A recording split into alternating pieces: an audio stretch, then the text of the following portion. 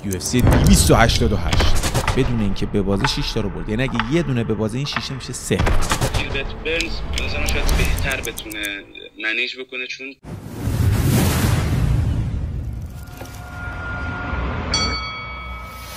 سلام دوستان عزیز. امیدوارم حالتون خوب باشه. یه UFC دیگه. یه برنامه دیگه. UFC 288 این برنامه برنامه مهمیه دوستان. به خاطر اینکه هنری سودو مبارزه داره با آلجمن استالین و از اون ور یادتونه که بنیل داروش با چارلز اولویرا مبارزه داشت؟ جایگزین کردن با گیلبرت برنز و بلال محمد. گیلبرت برنز همین چند روز پیش مبارزه کرد تو UFC ما براتون تحلیلش گذاشتیم. گزارشش رو گذاشتیم. خود مسابقه هم که می‌دونین که می‌ذاریم در تلگرام. دوستانی که می‌خوام بدونن ما مبارزات رو در تلگرام می‌ذاریم. همون لحظه می‌تونید برید مشاهده کنید لینکش هم همین پایینه. و یه کارت خیلی جالب و اساسیه به نظرم این کارت. به خاطر یه مبارزه که به نظرم مین ایونتش بسیار بسیار جالبه. و خب خیلی حالمون رو گرفت سر اینکه چارلز لوویرا و بنیل داروش نرسیدن که مبارزه کنم. و اونم به خاطر اینکه چارلز لوویرا آسیب دیده بود و یه برنامه مفصل در مورد اون موضوع گذاشتیم که اصلا ناراحت شدیم چرا این اتفاقات افتاده. که دیگه حالا افتاده دیگه. اتفاقی که افتاده و نمی‌تونیم کاریش کنیم. میریم امروز می‌خوایم بررسی بکنیم. ببینیم که چه اتفاقاتی ممکنه در این مبارزات بیفته و پیش بینیامون رو از این مبارزه ها بهتون بگیم. مین ایونت و کم ایونت رو بررسی می‌کنیم. یه نگاهی هم به خود جدولا میندازیم و از همه مهمتر. آخر برنامه داریم تلاش می‌کنیم که وصل بشن دوستان. شماها همونطور که در برنامه قبلی گفتیم هر کدوم از شما دوستان که بخوایم می‌تونید بیاین تو برنامه و صداتون رو میشنوید و می‌تونید نظراتتون رو بدید و اصلا بگید که کی پیروز میشه به چه دلیلی از نظر فنی توضیح بدید. و بعدها همین دوستانی که صحبت می‌کنن می‌تونیم که تصویرشون رو هم داشته باشیم در برنامه. من همونطور که بهتون گفتم دوست دارم شما رو هم دخیل بکنم در اون برنامه و خیلی خوشحال میشم از این موضوع. بعد ببینیم آخر برنامه چه کسایی میان و شرکت می‌کنن. خود منم هنوز نمی‌دونم. به سرعت برق و باد میریم. شروع بکنیم. آنالیز این مبارزه رو. ببینیم چه اتفاقاتی میفته. خب آلجمن استرلین در مقابل هنری سودو UFC 288 در نیوجرسی آمریکا این مبارزه قرار برگزار بشه. حالا داستان چیه؟ مین ایونت آلجمن استرلین در مقابل هنری سودو هنری سودو آمریکایی آلجمن استرلین اصلیتا جامایکایی که خب اونم الان دیگه تو آمریکا زندگی می‌کنه. کومین ایونت هم بلال محمد و گیلبرت برنز و مسابقه خانم هم که جسیکا آندره مبارزه داره با خانم یان که ما معمولا بهتون گفتیم کومین ایونت و مین ایونت رو فعلا ما بررسی می‌کنیم. یا اگه مبارزه جالبی باشه یا مثلا می‌بینی ایونت نیست ولی همزد بازی داره. کسی که طرفدار زیاد دارن. بعد یواش یواش وقتی این داستان خوب جا بیفته در کشور ما انقدر زیاد می‌کنیم که کل اصلا مبارزات اون مقدماتی هم براتون میگیم. مطمئن باشید که برنامه همینطوری رو به بهبود خواهد بود و بهتون قول میدم از تابستون از تابستون اواسط تابستون از مرداد ماه دقیقا تمامی برنامه به حالت اول برگرده و هر روز دوباره برنامه داشته باشیم. به امید خدا ببینیم چی کار می‌کنیم. خب مبارزه این دو فایتر بزرگه. الجمین استانی در مقابل هنری سودو. دوستان الجمین استانی 22 تا پیروزی داره 3 تا باخت. هنری سودو 16 تا پیروزی داره دو تا باخت. که اون دو تا باختش هم حالا میریم جلو بررسی می‌کنیم به چه صورته. آخرین مبارزه رو جفتشون بردن. جفتشون آخرین مبارزه که داشتن. با پیروزی پشت سر گذاشتن ولی هنری سودو سه ساله که مبارزه نکرده خداحافظی کرده و برگشته. آلجمین استالین می‌تونیم بگیم هنوز تو اوجش هست. هنری سودو قهرمان المپیک هم بوده. جلوتر کامل بهتون حتی کشتیاش هم میگم کیا بوده. جفتشون الان کشورشون آمریکاست. قد الجمین استالین بلندتر از هنری سودو و وزنشون یکیه. و ریچ ادوانتج بسیار بیشتری هم داره. الجمین استالین دست و پای بلندتری داره نسبت به هنری سودو و شما این رو در مبارزه خواهید دید که چقدر بلندتره و چقدر ممکنه خیلی ها ببین که ما احساس می‌کردیم این وزنش بیشتر از اون یکیه بزرگتر از اون یکی و هر کی بازی می‌کنه با الجمین همین حسی رو داره که انگار درشتره گنده تره و این اتفاق حتما خواهد افتاد و اینو به هم خواهید گفت. هم پاش بلندتره هم دستش بلندتره. الجمین. و مورد دیگه ای که داره یه فایتره که با چند تا فن خاص حریفاشو شکست میده. ببینید کی او تی کی او کردنشون 50 درصد مبارزه یعنی نصف مبارزاتی که هنری سودو انجام داده حریفا رو کی او تی کی او کرده. 50 درصد آمار خوبیه. و الجمین استالین 14 درصد. ساب میشن خیلی جالب. هنری سودو صفر. تا بال کسی رو ساب میشن نکرده که یکی از بهترین کشتیگیرهای تاریخ یو اف یعنی هنری سودو دانیل کورمیر و خیلی دیگه اینا بهترینان. اما هنری سودو خب می‌تونیم بگیم با پر افتخارتر از دنیل کورمیر در کشتی. یعنی جزء ام ام ای که کمربند یو اف سی رو داره. خب دنیل کورمیر هم داشت. اما افتخاراتی که هنری سودو در کشتی داره بیشتر از دنیل کورمیر جفتشون هم مربی کشتی بزرگانی در UFC. حالا نگاه نکنین هنری سودو وزنش flyweight و bantamweight حالا مثلا پروزن و خروس وزن و این داستانه که صحبتش میشه ولی انقدر به این کوچولو بودنش نیست به این تکنیکشه. مربی جان جونز هم هست در کشتی. ببینید دیگه در چه حدی کشتیگیر هستش هنری سودو. و decision هم 50 درصد decision یعنی به مبارزه به جایی می‌رسه که دو تا fighter راند ها رو مبارزه کردن. هیچ کسی هیچ کسی رو نتونسته ناک اوت کنه هیچ کسی نتونسته کسی رو submission کنه. رسیده به decision. 50 درصد پیروزی ها با هنری سودو بوده و 48 درصد استرلین الجمین استرلین time ی که مبارزه می‌کنن average time شون به صورت متوسط اینا در کل مبارزاتشون 12 12 خورده ای ثانیه. خب می‌تونیم بگیم عین همه 12 دقیقه خورده ای اینا مبارزه می‌کنن و می‌تونیم بگیم از نظر اینکه نفسی بخوان عین هم باشن تو این قضیه تقریبا عین همن و نمی‌تونیم بگیم نفس کدومشون بهتره. طبق آماری که داریم می‌بینیم. در مورد ضربات معنیداری که می‌زنن آلجمینستانی در هر دقیقه 4 ممیز 7 و هنری سودو 3 ممیز 92 یعنی ضرباتی که در هر دقیقه برخورد می‌کنه و میشینه. ضربات معنیدارشون در این قسمت هستش که 45 درصد هنری سود و 51 درصد الجمین استالین و کتک خورشون هم عین هم ملسه. یعنی دو ممیز 77 هنری سودو در هر دقیقه ضربه می‌خوره و الجمین هم دو ممیز 18 این نکته مهمیه ضربه خوردن یکی میگه آقا؟ مسئلتون. یعنی چی؟ چون کتک خورش ملسه یعنی چی؟ یکی ضربه می‌خوره یعنی چی؟ fighter خوب RoboCop که نیستش که ضد ضربه باشه. fighter خوب fighter ی که میاد ضرباتی که می‌خوره نیفته. یه وقت می‌بینی یکی اصلا 100 درصد قدرت ناکاوت کردنش صده. این اگه این مشت من بزنم به شما درجا میافتی. میگه آقا مشت من صده. کتک خورش هم صد باشه یعنی صد درصد هر ضربه که می‌خوره بیفته. خب کاری نداره یا یه ضربه بهش می‌زنه میفته بعد کتک خورم ملس باشه یکی مثل دیاز. هرچی می‌خوره هیچیش نمیشه. ضربه می‌خوره مقاومت می‌کنه. ملس بودن به این میگیم نه که یه دونه بخوره با کله بخوره زمین. و از نظر دفاع 65 درصد هنری سودو و 61 درصد الجمین استالی. می‌بینید تقریبا مثل همان. البته که اینجا داره به ما نشون میده ایستاده هنری سودو با اینکه کشتی هم هست تا اینجا کار بهتر بوده. می‌رسیم به تیک داون تیک داون کردن در هر 15 دقیقه هنری سودو دو ممیز دوازده و الجمین استالین یک ممیز 98 نسبت به اینکه هنری سودو قهرمان المپیکه و الجمین استالین قهرمان المپیک نیستش ولی تیک داون خوبی داره. یعنی از حق نباید بگذاریم که تیک داون خوبی داره. ما آخر پیش بینی خودمون هم میگیم.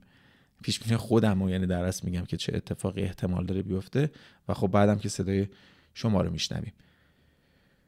در مورد دقت تیک داون و زمین زدن 33 درصد هنری سوده و 24 درصد الجمین خب می‌تونیم بگیم که اینجا یه آمار خوبیه برای هنری سودو تقریبا از هر سه باری که اقدام می‌کنه یک بارشو زمین می‌زنه و الجمین از هر چهار بار یک بار.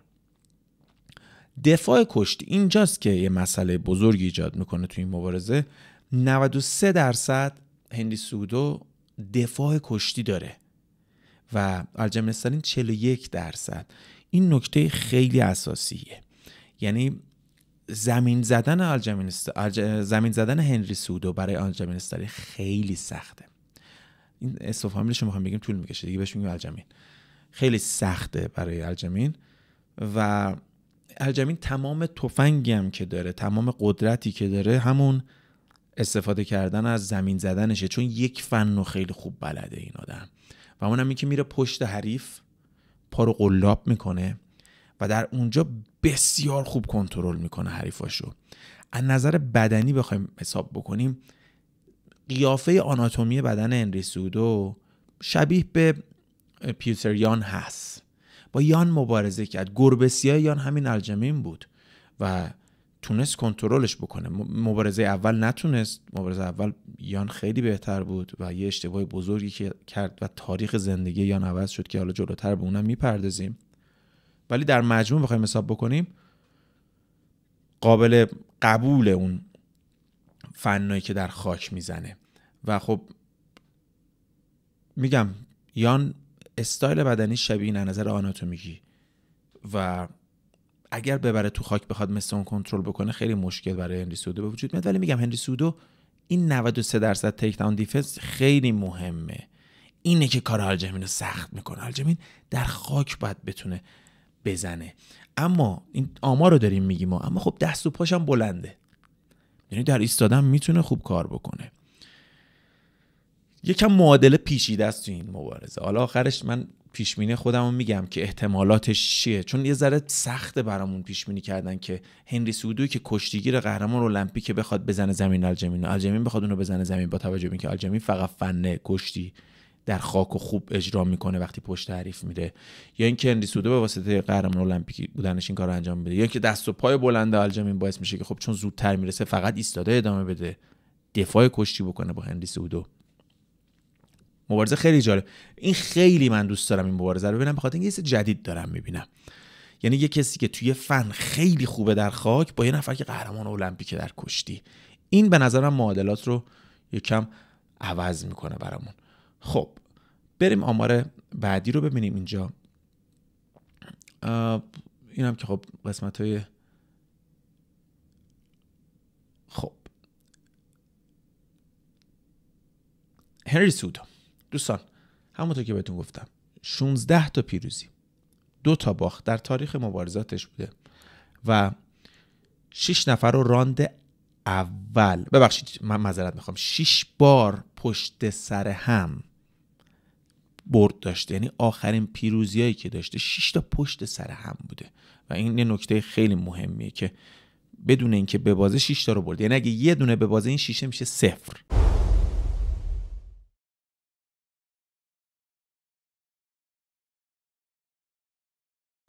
خیلی نکته مهمیه. هفت نفر رو ناکاوت کرده و هفت نفرم با دیسیژن شکست داده. هنری سودو قهرمان المپیک در کشتی و افتخارات بزرگ در تاریخ کشتی. بسیار کشتی. یعنی یه کسی مثل مثلا شما تصور کنید.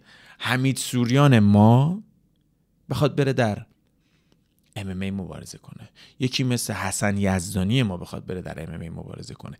یه همچین کسی رو ما داریم می‌بینیم. یه همچین کسی رو ما امروز داریم در موردش صحبت می‌کنیم. متوجه این برای همین نکته مهمیه.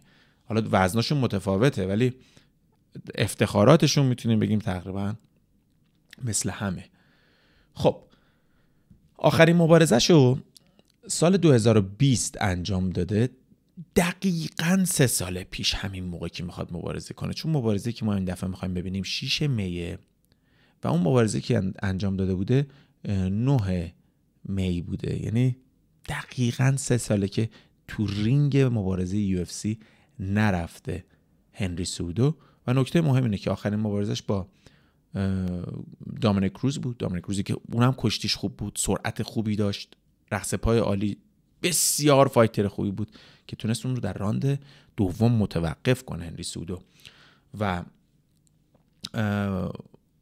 fight بعدیش در مقابل مورس بود. اگه اشتباه نگم فامیلشو مورایس یا مورس فامیلش من دقیقا نمی‌دونم حالا تلفظش به چه صورته. ولی اون رو هم تونست شکست بده. این نکته خیلی مهمه که هنری سودو این fighter ی که شکست داده همین fighter دقیقا الجمین رو شکست داده. یعنی الجمینی که تا به حال باخت ناکاوتی و تیکی اوی نداشته به کسی فقط به این یک نفر داشته. و این رو هنری سودو خودش تیکی او کرده. و می‌تونیم بگیم یکی از بهترین پیروزی های تاریخ زندگی هنری سودو در مقابل تی جی دلشا بود و در این مبارزه اصلا یه اتفاق بسیار عجیبی افتاد که سال 2019 برگزار شد. هنری سودو مبارزه داشت با تی جی دلشا و دلشا موقع کمربند دستش بود. اومد راند یک راند یک قلع و قمع کرد تی جی دلشا و واقعا ما منتظر مبارزه طولانی بودیم و راند یک به سرعت برق و باد تموم کرد با ضرباتی که پیاپی به صورتش هم در خاک زد و خیلی سرعتی کار کرد. پیروز مبارزه شد و نکته مثبت قضیه این بود که تی جی دلشا در اون مبارزه دوپینگ کرده بود. یعنی هم قبل از مبارزه تستش مثبت در اومد. هم یعنی خونی که ازش گرفته دادن قبل هم بعدش مثبت در اومد. و این اینو تا به حال هیچ جا دنیا بهش نپرداختن و حالا میگم من اون page پزشکیمو که بخوام بزنم ان بعد از 100 هزار تا شدنمون در اینجا می‌زنیم.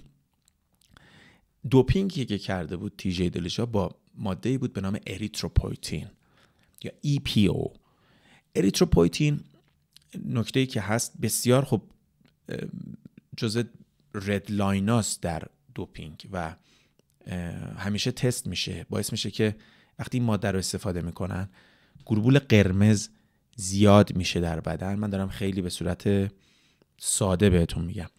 و وقتی که گلوبول قرمز زیاد میشه هموگلوبین ها بیشتر میشن affinity شون با اکسیژن و میزان جذب اکسیژن بیشتر میشه در بدن.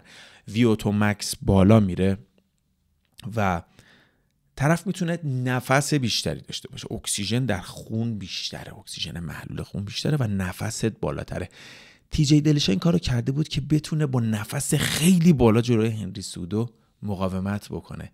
اصلا فکرشو نمی‌کرد راند یک شکست بخوره.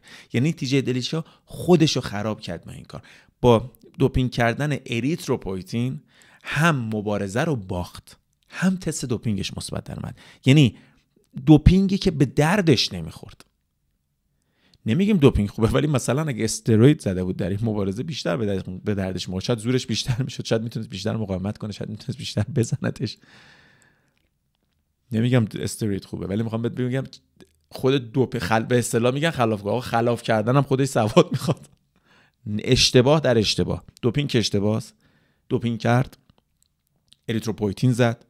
فکر کرد مبارزه قراره بره تا راند پنجم. به یه دقیقه نرسید مبارزه رو باخت. و باعث شد اصلا مسیر زندگیش عوض بشه که دلش خیلی fighter خوبی بود. جزو کسایی بود که واقعا می‌تونست اگه مثبت نمی‌شد شاید می‌تونست برگردن یه دونه براش rematch هم بذارن. نکته مهم دیگه ای که هنری سهودو باید بررسی بکنیم مبارزش با دمتریوس جانسون بود. خب می‌دونی که پتیس هم برده بود سهودو. ولی با دمتریوس جانسون این نکته خیلی مهمه. اینجا رو دقت بکنید. به دمتریوس جانسون راند یک باخت سال 2016 دوازده 23 April 2016 ضرباتی که می‌زد دمیتریوس جانسون. دمیتریوس جانسون واقعا خوبه. موتایکار خوبی هم هست. با زانو ضربات محکمی رو به شکم هنری سودا می‌زد. کاملا آنالیز کرده بود که چجوری با یه کشتیگیری که آزادکاره فایت بکنه. آزادکار زیرگیر خوبی یکی از دلایلی که من میگم برای ام فرنگی بهتره به همین دلیله. اینا اومدن زانو زدن. زانو می‌دونین که خب یک خطری داره که شما می‌خوای زیرگیری کنی احتمال ناکاوتی داره. در این حال به شکم هم می‌خوره اذیت می‌کنه. انقدر زانو به شکم زد راند یک کار هنری سودو رو تموم کرد. سال 2016 این باخت سنگین بود برای هنری سودو ما خیلی رفتیم به عقب بعد از اون هنری سودو بزرگانی رو شکست داد و باز رسید به مبارزه ریمچش با بریم بالا بهتون نشون بدم چون نکته خیلی نکته مهمه. مبارزه ریمچش با جانسون سال 2018 چهار آگست. در این مبارزه دیگه کاملا آنالیز کرده بود دمتریوس جانسون و دیگه از اون سوراخ گزیده نشد. خیلی مهمه که فایتر خوب بتونه آنالیز بکنه و دیگه از اون سوراخ گزیده نشه. به اصطلاح کشتیگیرا میگن آقا یه فن شما یه بار که بخوری میگه میشن مثل خودشون. یه فن که یه بار بخوری شما خوردی. میری یاد می‌گیری دو بار که بخوری تجربه کردی سومین بار دیگه تقصیر خودته. اگه عین همون فن رو بخوری. یه کشتیگیر خوبیش وقت اینجوری نمیشه. کار نداریم. ایشون رفت کار کرد و آمد پیروز مبارزه شد. برگشت دمیتریس جانسون رو برد. بردن دمیتریس جانسون کار هر کسی نیست دوستان. واقعا فایتر خفنیه. و بعد از اون دیگه پیروزه پشت سر هم رو داشت. دو بار کمربند داشت. دوستان کمربند flyweight UFC رو داشته کمربند bantamweight UFC رو داشته. و هنری سهودو می‌تونیم بگیم یه fighter کاملا کاملا پنج ستاره است. از لحاظ fight ی از لحاظ تجربه لحاظ افتخارات 46 درصد دقت ضرباتش هست 34 درصد دقت زمین زدنش اینکه حریفا رو بخواد زمین بزنه و ساب میشه به صورت انجام نمیده. اوریجی تایمی که مبارزه می‌کنه مبارزه خوبی 12 و 23 و حتی نگاه می‌کنید که جالبه با اینکه بهترین کشتیگیره 354 تا ضربه زده یعنی 64 تا ضربه رو در ایستاده زده. در یعنی در فاصله که وایستادن اصلا در کشتی نبوده. در کلینچ 22 درصد و در خاک 17 درصد. یعنی چیزی که توش تبهر داره. اونم کشتیه و معمولا کشتیگیرا. کشتیگیرای خیلی خوب. حریفا رو میارن در خاک و ضربه می‌زنن. این کمترین رو داشته. این عامل موفقیت هنری سعودوه برعکسی که همه دوستان میگن بابا کشتی اصلا ما که دیگه کشتیگیریم میریم ام ام ای تو ام ام دیدی که کشتیگیرا قلقم می‌کنن همه رو. نه داداش اینطوری نیست. شما کشتیگیری باید باشی که کشتی نگیری. اگه می‌خوای در ام ام موفق باشی کشتیگیری باشی نکته رو گوش کن. کشتیگیری باشی کشتی نگیری حریفت خواست کشتی بگیره بگی به. یعنی انقدر ایستادت قوی باشه انقدر خوب باشه ایستادت که حریفت از ایستادت زدشه بخواد بگیرت تازه بیفتی تو بهشت. نه اینکه همون اول حریفت بدونه تو تو تو تو تو تو چی شدی؟ نه که همون اول حریف شما. ببینه شما کشتیگیری شما رو بندازه تو تله. آپرکات نشون بده زانو بزنه. برای همین معمولا کسایی که کشتیگیرای خیلی خوبی هن در ام ایستاده خوبی دارن. کشتیگیرای خوب در ام دنیل کورمیر هم این کارو کرد. واقعا ایستادهشو خوب کرد. اینکه شما بخوای بری فقط کشتی بگیری کارت تمومه. یعنی قلقمت می‌کنن میندازنت بیرون. تو بهترین کشتیگیر تاریخ باشی هر کی. الکساندر کارلین هم بالاخره اومد در ام موفق نبود. فرق می‌کنه اینا با هم. خب.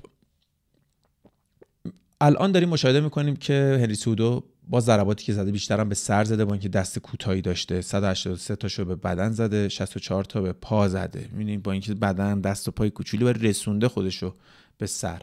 50 درصد KO TKO 50 درصد دیسیژن صفر ساب میشن بابا این آدم کشتیگیر حریفو میاره تو خاک. ساب میشن نکرد. اینش نکته بدیه ها. اینش برای رنجی سودو بده.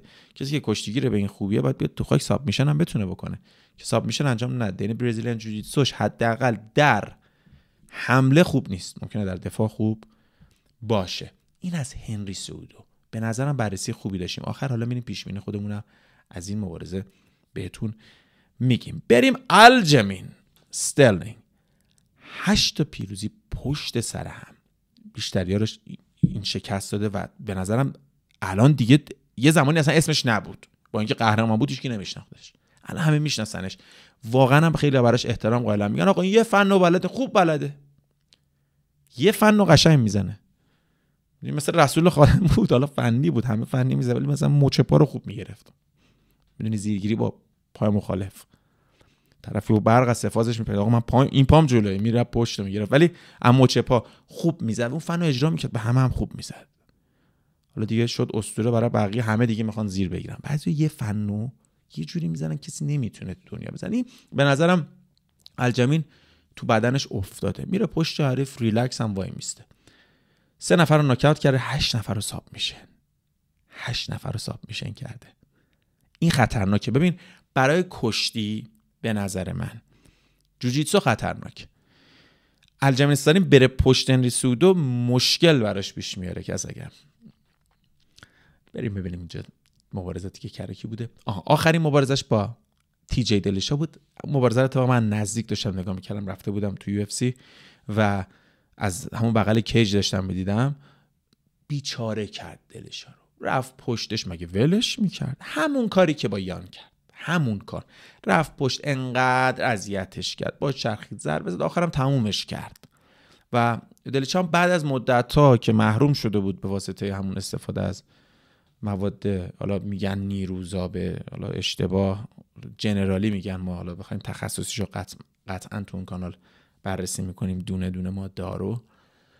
وقتی که اریتروپویتین رو استفاده کرد در اون زمان و دوپینگش مثبت در اومد و محروم شد این اولین مبارزش بود دیگه بعد از اون برگشت. اگه اشتباه نکنم و موفق نبود. موفق نبود و می‌تونیم بگیم دیگه دلشا مثل دلشای سابق نیست که دیگه بخواد بیاد کمربند و اینو بهش بدن. مبارزه رو باخته. مبارزه قبلش با یان بود. یان رو باید براتون از مبارزه اولش توضیح بدم. سال 2021 اومد مبارزه کرد با یان. یان اون موقع اوجش بود. اوج یان بود. الجمین استالین رو بیچاره کرد. بیچارش کرد. یعنی بهتون بگم کاملا پیروز مبارزه یان بود. یعنی راند چهار بود. راند چهار هم داشت به اتمام می‌رسید. به راند پنج. راند پنج پیتر یان فرار می‌کرد فقط میدوید. یعنی مسابقه دو. فقط در می‌رفت پیروز بشه. تا اینکه الجمین یه تیک اومد رو زمین. دستشو گذاشت رو زمین. خیلی ها بعضا این کارو می‌کنن. دستو میذارن رو زمین. که حریف به اشتباه با پا بزنه به صورتت. می‌تونی با پا بزنی به صورت شما تا وقتی که دست حریفت رو زمین نباشه. تست اگه رو زمین باشه برخورد با زمین بکنه. یه دونه دستم حتی باشه شما با پا بزنی دیسکوالیفای میشی. اگه حریف نتونه ادامه پیدا کنه که ضربه رو با زانو زد یان به صورت الجمین. الجمین هم دیگه خودش رو زد به اینکه من تمومم. خوابید کف زمین. ضربم خدایی ضربه بدی بود. ولی چاشنی فیلمم گذاشت توش. اولین نفر شد در تاریخ یو در تاریخ UFC که مبارزه سر کمربنده. طرف ناکاوت شده افتاده زمین اینجوری و کمربند رو برده. یعنی با disqualify.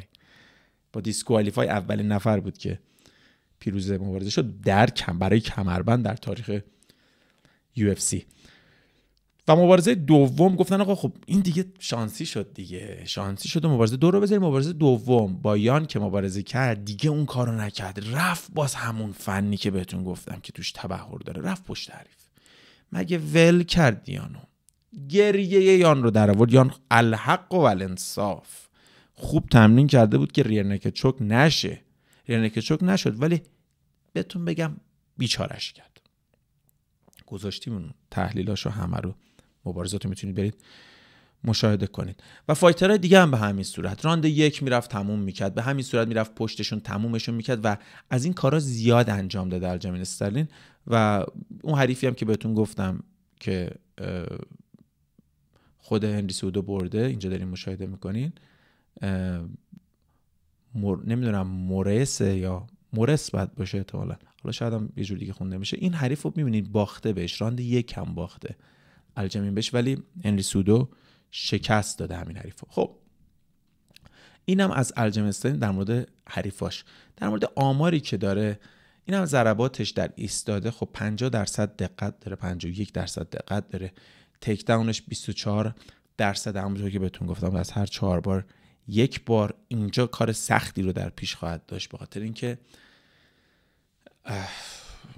90 و خورده درصد دفاع 93 4 درصد دفاع هنری سودو دو زمین زدن. اینجا آیا می‌تونه الجمین هنری سهودو رو بیاره در خاک و بره پشتش؟ من فکر می‌کنم کار سختی داشت داشته باشه. یعنی تمام مبارزاتی که انجام داده الجمین استرلینگ یک طرف با هنری سهودو رو باید بذاریم یه طرف دیگه. چون کشتیش 93 4 درصد دفاع داره و این نمی‌تونه حریف به راحتی بگیره هنری سهودو رو بیاره در خاک.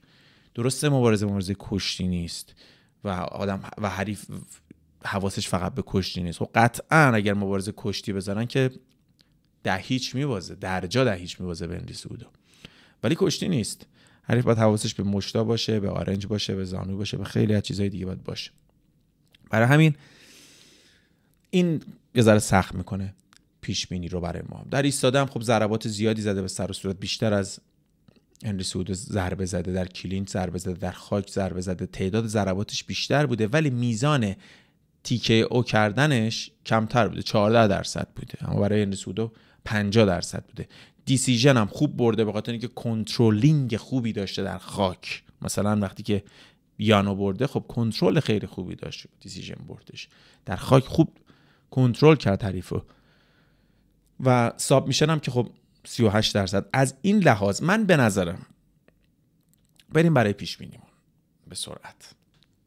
اگر بتونه هنری سودو رو بیاره در خاک و بره پشت هنری سودو. من فکر می‌کنم که باز با این که هنری سودو بسیار کشتیگیر عالیه بسیار آنالیزور خوبیه مربی همشه و می‌دونم که هزار و یکی آنالیز در آورده از این فن که من چجوری از دست این فن رهایی پیدا بکنم. مطمئن باشید اینا خوب خوب آنالیز کردن. ولی من فکر می‌کنم اگر بره به پشت هنری سودو برای هنری سودو هم مشکل به وجود خواهد آورد. ولی اینکه بخواد برسه به پشت هنری سودو به نظر من کار آسونی نیستش. اینکه در ایستاده از هنری سودو بهتر باشه نه. هنری سودو قدیم اگر باشه اگه این همون هنری سودو سه سال پیش باشه اینا که خداحافظی می‌کنن برمیگردن هی ما داریم استدلال بر اساس اون زمانشون می‌کنیم.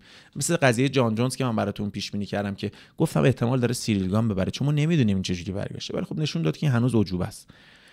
اگر مثل کسایی باشه که برگشتن ول کردن. مثل رابی روور مثل نمی‌دونم دیاز مثل خیلی دیگه. مثل فرانک میر. خیلی ها که برگشتن مثل کانر مگریگر که اصلا واقعا خوب نبودن دیگه واقعیت. نه. ولی اگه مثل قدیمش باشه با اینکه دست و پاش کوتاه‌تره در ایستاده اذیت می‌کنه اتفاقا الجمین الجمین هم کتک که می‌خوره در ایستاده می‌خواد بگیره حریفو بیاره در خاک. اینم که دفاعش خوبه. یعنی بخوای رو کاغذ بیاریم هنری سودو باید برنده بشه. رو کاغذ. کشتیش خوبه دفاع کشتیش خوبه ایستادش هم خوبه. ضربات خوبی در ایستاده می‌زنه. تعداد تیک او کیو کردنش هم بیشتر بوده. قهرمان کشتی هم هست. اما الجمین بهتر شده نسبت به سابقش. هنری سودو رو نمی‌دونیم. نمی‌دونیم هنری سودو به چه صورته. من فکر می‌کنم من حیث مجموع با توجه به تمام این صحبت هایی که کردیم این خیلی نکته مهمه. اگر هنری سودو هنری سودو قدیمش باشه. اینو من واقعا نمی‌تونم دیگه پیش بینی کنم چون ندیدمش سه ساله نیست. می‌تونه ببره الجمینو یعنی متریال برنده شدنشو داره. الان میریم افتخارات هنری سعودی رو هم با هم یه نگاه میندازیم. شما خودتون قضاوت بکنید. می‌تونه پیروز مبارزه بشه و اذیت بکنه الجمین رو. و اگر نباشه الجمین بتونه اگه, اگه نباشه که الجمین در ایستادن می‌تونه بزنه. چون دست و پاش بلندتره. خیلی مهمه به نظرم این مبارزه به آماده بودن هنری سعودو آلجمی که آماده است همونجوری میاد همونجوری هم می‌خواد مبارزه بکنه. مگر اینکه استراتژیشو بخواد عوض بکنه که فکر نمی کنم چون استراتژی دیگه ای بلد نیست. یعنی هنری سودو فنای دیگه ای به اون صورت نمی‌زنه. میره به پشت حریف ریرکت چوک می‌خواد بکنه در ایستاده مبارزه می‌کنه با پا کنترل می‌کنه از عقب چون دست و پاش بلنده. در این مبارزه شاید با پای ذره سختتر کنترل بکنه بیشتر بخواد بره رو زانو به خاطر اینکه زیرگیری احتمال داره بکنه. هنری سودو در صورت در کشتی نابغت پلنگ شکن عالی می‌زنه. بی‌نظیر کار می‌کنه بخورلنگ خوب می‌زنه و تو کشتی حرفی برای گفتن ندارن اگه اینا بخوان کشتی بگیرن در مقابل هنری سودو. یه افتخارات سودو رو نگاه بندازیم. هی می‌خوام پیش بینی رو بگم. خود موندم واقعا. من فکر می‌کنم اگه هنری سودو هنری سودو سابق باشه هنری سودو برنده میشه. پیروزه مبارزه میشه. نگاه کنید. سال 2008 در المپیک در 55 کیلو طلای المپیک رو گرفت. چندین دوره قهرمان پن امریکان شده. پن امریکن و طلاها رو شما نگاه کنید.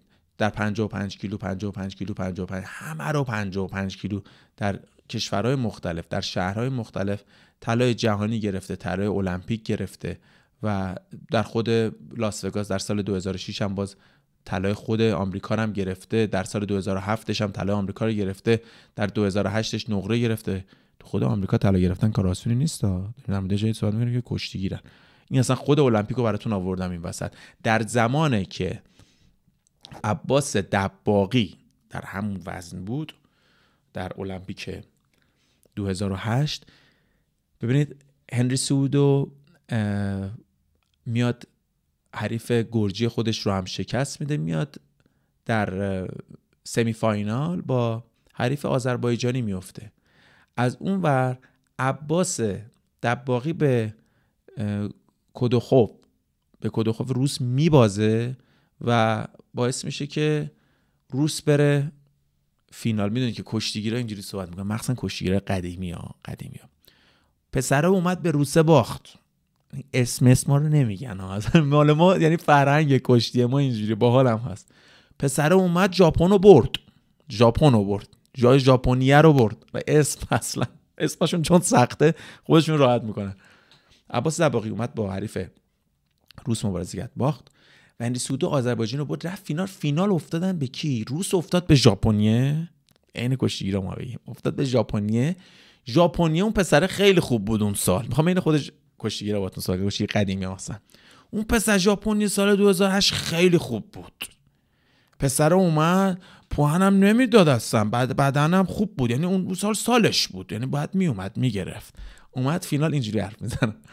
اومد فینالو ولی فینال خورد به هنری سودو هنری سودو دوستان اون زمان واقعا آماده بود و پیروز مبارزه شد. نگاه کنید هنری سودو طلای المپیک رو گرفت سال 2008 و نقره رو توماهی رو ماسوناگا گرفت یا به قول قدیمی های کشتی خودمون ژاپنیه دوم شد ژاپن گرفت و بلغارستان و روسیه مشترکن سوم شدن و همینطور به همین صورت که می‌بینیم و عباس دباقی هم با رتبه دهم به کار خودش پایان داد در المپیک که به نظر من شاید اگر می‌تونست روس رو شکست بده از اون ور با ژاپن می‌تونست شاید ژاپن رو ببره و فینال شاید به هنری سودا می‌خواد و اصلا کلا تاریخ عوض می‌شد. یعنی بعضی وقتا اینجوری شما یه باخت درسته یورو دهم میشه ولی اینطور نیستش که مثلا واقعا اینو 10 تا فاصله داشته باشن.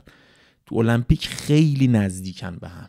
خیلی نزدیکن. اونی که دیگه واقعا هیچ اشتباهی نمی‌کنه اول میشه. این نیست که فنیشون بخواد به هم نخوره اینا نه. ولی خیلی پیچیده است. واقعا المپیک اصلا خیلی نامرده. خیلی نامرده. خب اینجا باز مشاهده می‌کنید باخت هنری سهودو رو که یکیش به همون دمتریوس جانسون بود که بهتون گفتم سال 2016 باخت و بعد اومد جبران کرد و یه باخت دیگه هم که یه بار point منفی گرفته بود به split decision باخت هنری سهودو. و به نظر من مبارزه مبارزه بسیار خاصی خواهد بود. خیلی هم منتظرن مبارزه هنری سودو رو ببینن بعد از مدت ها که به چه صورت شده و خیلی هم لجشون گرفته از الجمین استرین به واسطه اینجور مبارزه کردنش. خیلی هوش می‌کردن ها. یعنی وسط مبارزه هوش می‌کردن. آقا این چه مدل مبارزه؟ او وسلشون سر می‌رفت. من دوست دارم خاکو. وقتی نگاه می‌کنم پنج ساعت هم تو خاک بپیچم به هم من دوست دارم. تکنیکاشو می‌بینم حال می‌کنم ولی خب برای بیننده عادی دوست داره که وایساده بیشتر ببینه. می‌دونید چجوریه برای همین خیلی علاقه من نیستن به الجمین به اون مدل مبارزش یکی رو گذاشتن جلوش که ورق تلاست دیگه. حالا به نظر من ورق تلاتر کسی بود که مثلا قهرمان بهترین مثلا جوجیتسو کار تاریخ بود. ولی حالا اینم حسابه چون بالاخره باید بزنه زمین شرط لازم داشته باشه. هنری سودام علکی بر نمیگرده. ببینید برنامه تلویزیونی داره. برنامه پادکستی داره شاگردای زیادی داره. یعنی بحث کلکلش هم هست. احتمالا فهمیده که می‌تونه یه جوری رکب بزنه به الجمین که اومده برگرده. ولی میگم سابقه نشون داده جز جان جونز. کسایی که برگشتن نتونستن مثل سابق باشن. دو تا کمربند داشته افتخارات بالایی داشته. و الان هم کمربند دست آلجمینه اومده می‌خواد بگه بابا این کمربند مال منه. دست شماست. به امانت باید بدی به من. حالا باید ببینیم. الجمین باز نگه میداره کمربندو یا هنری سودو می‌تونه بگیره. ما همه این پیش که می‌کنیم دوستان یه وقت ممکنه همون اول مبارزه ببین مبارزه هوره ماسویدال با بنسکرن هزاران تحلیل بود قبلش. هزاران تحلیل. مبارزه که شروع شد ماسویدال دویت با زانو زد تو کله انریسودو به کله ببخشید. بن اسکرن در جا مبارزه تموم شد. یعنی طرف یه لحظه روشو کرده بود اون ورداش یکی رو نگاه می‌کرد مبارزه تموم شده بود. یعنی می‌خوام بهت بگم مبارزه ما تحلیل که می‌کنیم 100 درصد است بر اساس داده هاست ولی ممکنه با یه مشت چه طرف این ور چه طرف اون به اتمام برسه. اما همین تحلیلاست که جالبش می‌کنه. و حالا صحبت های شما هم که دیگه قرار توش بیاد دیگه ببین چه شود. بریم برای کومین ایونت of the evening. مبارزه گیلبرت برنز در مقابل بلال محمد. آقا ما بلال محمد مبارزش رو دیدیم تو یو اونجا بازن نزدیک بودم. چقدر طرفدار داره بین عربا. خودش هم خب فلسطینیه. یا آهنگ فلسطین هم گذاشت نه فلسطینی فلسطینی. این آهنگه بود که میخوندن. همه اونجا عربا داشتن براش اصلا عشق می‌کردن و یعنی نمی‌دونید چه جوی براش به وجود اومد. همون هم باعث بردش شد. چقدر برد شیرینی هم کسب کرد اونجا. و خب الان تو آمریکا داره مبارزه می‌کنه. اصلیتش برای فلسطینه بلال محمد مسلمونه. فایتر خوبیه ایستاده خوبی داره و حالا در مقابل کی می‌خواد مبارزه کنه؟ گیلبرت برنز. این مبارزه مبارزه که جایگزین شد با مبارزه بنیل دارویش و چارلز اولیویرا واقعا اصلا ناراحت میشم هر دفعه می‌خوام بگم. چقدر باید منتظر این مبارزه باشیم؟ او خدایا بس دیگه. خب گیلبرت برنز قهرمان چند دوره جهان در برزیلیان جوجیتسو. آقا سه هفته پیش مبارزه کرده. باز به قول برای بچه های لاتی ام ام این دادشمون سه هفته پیش دعوا کرده تازه. بعد سه هفته داریم دوباره مبارزه کنه. این همه راه اومدی میگی؟ حالا اهل فن فهمیدن چی می‌خوام بگم یه سلیا دارم میخندن چون یه تیکه کلمه یه قسمت یه فیلمی بود. نمی‌دونم کسی اگه فهمید برام بنویسه تو زیر نویس. خیلی باید فنی باشه اینو دیگه متوجه شی. حالا دوستان یه اتفاق عجیب افتاده که واقعا حمزه چیمایف این کارو کرده بود قبلا که به سرعت یه مبارزه کرد. بعد گفت میام دوباره مبارزه می‌کنم به فاصله یه ماه. حالا گیلبرت برنز اومد زد رو دست اون. گیلبرت برنز کلکلم داره با حمزه چیمایف سر اون مبارزش که خوب مبارزه کرد با حمزه چیمایف با decision حمزه چیمایف پیروز شد. گفت آقا منم این کارو می‌کنم. okay. مبارزه کنسل من میام fight می‌کنم. و نشون داد آدم active ایه و نشون داد می‌خواد fight بکنه. و اومد. مبارزه قبلیش هورا ماسفیدال شکست دادن باعث شد که خب می‌دونین هورا ماسفیدال هم خدافزی کنه. البته می‌خواست خدافزی بکنه. تو میامی آمریکا بود دیگه رفیق رفقاش هم, هم بودن. یه حالت دراماتیکی به وجود اومد و خدافزی رو انجام داد. بریم به سرعت یه تحلیلی بکنیم. این مبارزه رم برال محمد 22 تا مبارزه کرده. 22 تا پیروزی داره ببخشید. 22 تا پیروزی داره 3 تا باخت و گیلبرت برنز 22 تا پیروزی 5 تا باخت. آماراشون خیلی نزدیک به همه و اینجوری نمی‌تونیم حساب کنیم که چون که اون سه تا باخت داده این پنج تا باخت داده پس بلال محمد بهتره؟ نه. حریفایی که فایت کرده گیلبرت برنز واقعا سرسخت تر بودن. جفتشون آخرین فایتاشون رو بردن گیلبرت برنز از برزیل. مبارزه می‌کنه و بلال محمد از آمریکا. اینکه نیست که کشورش آمریکاست از اونجا مبارزه می‌کنه برای اونجا. و وزن بالاتری داره. گیلبرت برنز ریچ ادوانتج بیشتری داره. بلال محمد تقریبا یه ذره از نظر دستی از نظر پای تقریبا یک کم بلا...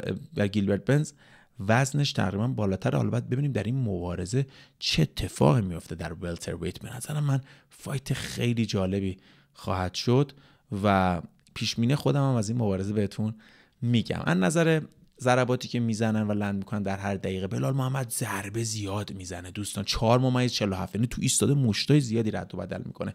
گیلبرت بنز 3 ممیز 3 در مورد ضربات معنی دار گیلبرت بنز 47 درصد و بلال محمد 42 اوورهندای وحشتناکی که می‌زنه. ضربات معنی داره کاری که می‌زنه گیلبرت بنز واقعا وحشتناکه. بلال محمد هم آمارش واقعا نزدیکه.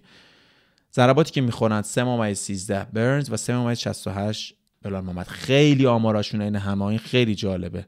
دفاعشون 54 درصد گیلبرت برنز 58 درصد بلال محمد. خیلی آماراشون جالب و نزدیکه. ولی یه نکته مخفی داره گیلبرت برنز که بهتون میگم اینجا.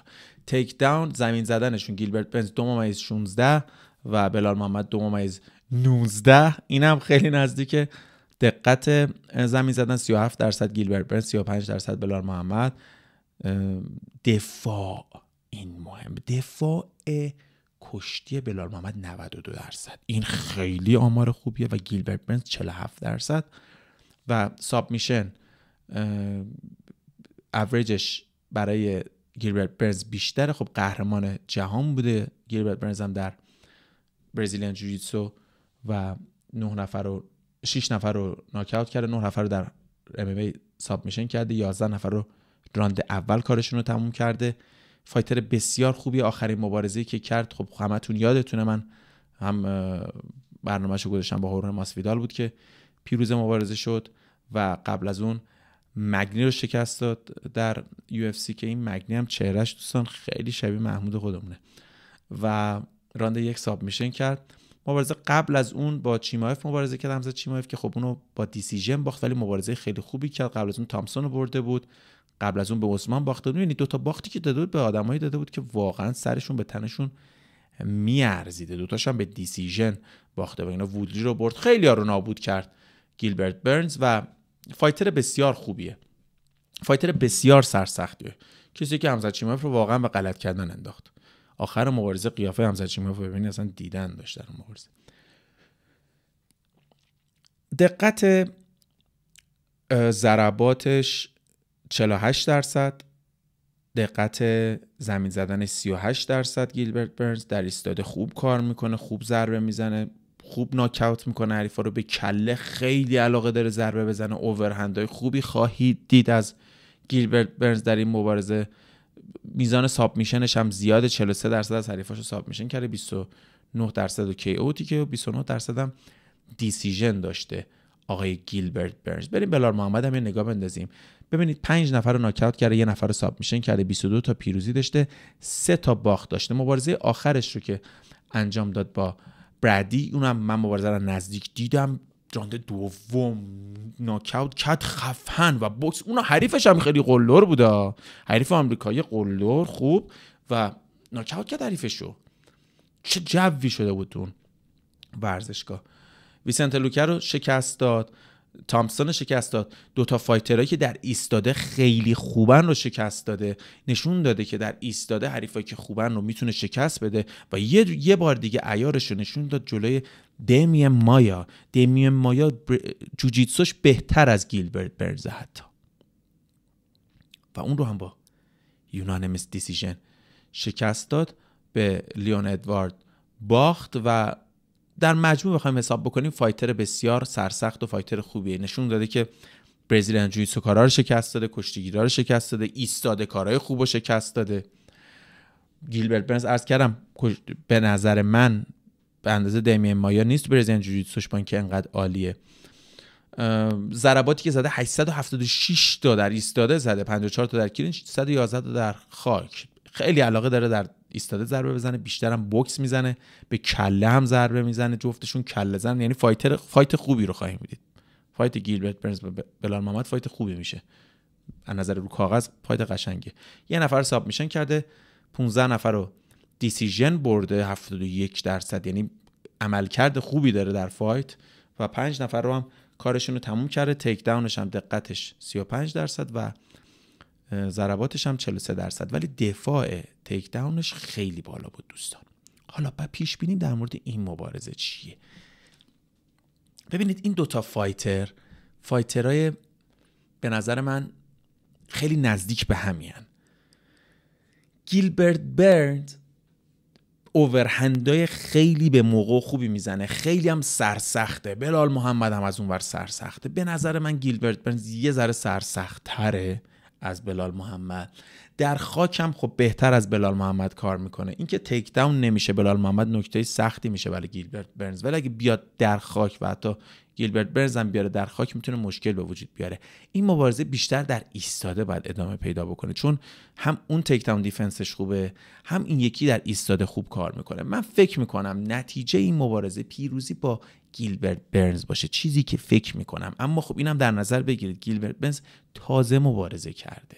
سه هفته پیش مبارزه کرد مبارزه هم نبوده راند یک تموم بشه. بعدا خسته است بعدا ممکن هنوز کوفته باشه. از یه fight داریم صحبت می‌کنیم. و بلال محمد هم در آمادگی کامل خودش هست. اما برنز در خاک بهتر کار می‌کنه. درسته که دیمین مایا میگیم خب پرزیدنت جیسوش بهتر بود. اون رو هم شکست داد بلال محمد. اما دیمین مایا در وایساده جربوزه نداشت.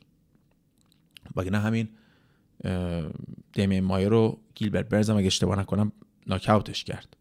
و من فکر می‌کنم که این مبارزه رو گیلبرت برنز شکست بده. فقط ببینیم چه فایتی میشه. دوتاشو براتون پیش بینی کردم. اونور گفتم هنری سودو اگر هنری سودو هنری سودو خودش باشه سابق اگر الجمین دستری نره پشت هنری سودو البته بره میگم شاید اینا تمرین خیلی می‌کنه. هنری سودو واقعا کسی که به جان جانز حتی یاد داد چجوری سیریلگان رو ببره. برای همین اگه آنالیز کرده باشه من خودم مشتاقم به چیزی یاد بگیرم ببینم چه اتفاقی چه, چه چیزی می‌تونه از ریال که چوک خارج بکنه یه نفر رو باید ببینیم چی میشه. ولی پاهاش یه جوری قفل میشه. اون الجمین اصلا مگه میشه در اومد؟ من اصلا به یعنی آدم باید به فیزیک اعتقاد نداشته باشه. اینم که به نظرم گیلبرت برنز شکست میده. شما نظرتون رو برام بنویسید. نظر شما خیلی برام مهمه. اینجا رو نگاه کنید. اینجا رو نگاه کنید ببینید چی دارم بهتون نشون میدم. بریم pound با pound رو بهتون بررسی کنیم. جدیدترین طبقه بندی pound با pound یعنی بهترین ها بهترین بهترین ها در MMA و در UFC در UFC چه کسیه؟ در تمامی بحث نفر اول جانی بون جونز. نفر دوم الکساندر ولکانوفسکی نفر سوم ایزلام مخاچف. خیلی جالبه ها. ایزلام مخاچف الکساندر ولکانوفسکی رو برد اما دوم نیومد. الکساندر ولکانوفسکی دوم و چسبیده به جان جونز. ایزلام مخاچف سوم. لیون ادوارد چهارم. اسرائیل ادسانیا پنجم. ششم. همین آقای الجمین سالین بنفشه همین آقای الجمین استالین که می‌خواد با هنری سودو مبارزه کنه. نفر ششمه. دوستان در مورد کم کسی صحبت نمی‌کنیم ما. این که من میگم هنری سودو می‌بره هنری سودو سابق اگه باشه. اگر نه این الجمین استالین بره پشت باز اذیت می‌کنه. کامروزمان هفتم از کامروزمان بالاتر الجمین استالین و چارلز اولویرا هشتم نه براندون مورنو. الکس پررا با یه دونه بهتر شدن رنکش و یه دونه بالا آمدن اومد به رتبه دهم و ایری پروژاسکا یازدهم ایری پروژاسکا باید برگرده دیگه خیلی وقت دیگه نیست. داستین پوریر زحمتکش. دوازدهم. مکس سالووی زحمتکش. سیزدهم. هیل چهاردهم. و رابرت ویدکر 15 هم. هر کدوم از این اسما رو یه تریلی یه ای 380 یه قطار یه ناف شکن نمی‌کشه. آقا اینا واقعا بهترین های تاریخن. و این برنامهمون بود در مورد UFC 288 نظرتون رو برام بنویسید. خیلی برام مهمه مبارزه رو کجا ببینیم. در تلگرام لینک پایین می‌ذاریم براتون. بعد از مبارزه هم آنالیزمون رو می‌ذاریم و اینکه حتما شما رو دخیل می‌کنیم باز در این برنامه که بتونید نظرتون رو بگید خودتون صداتون رو بشنوید و بعدش هم که بعدها تصویر رو داشته باشیم. نظرتون رو در مورد این برنامه به هم بگید. کلمه رمزی هم که می‌ذاریم می‌ذاریم چی؟ حمید سوریان.